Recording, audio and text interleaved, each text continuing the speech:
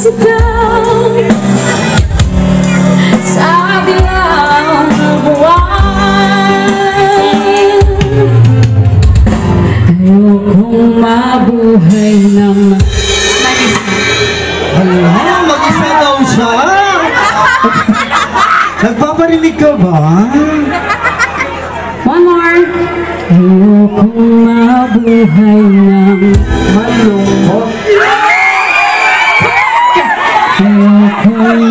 right now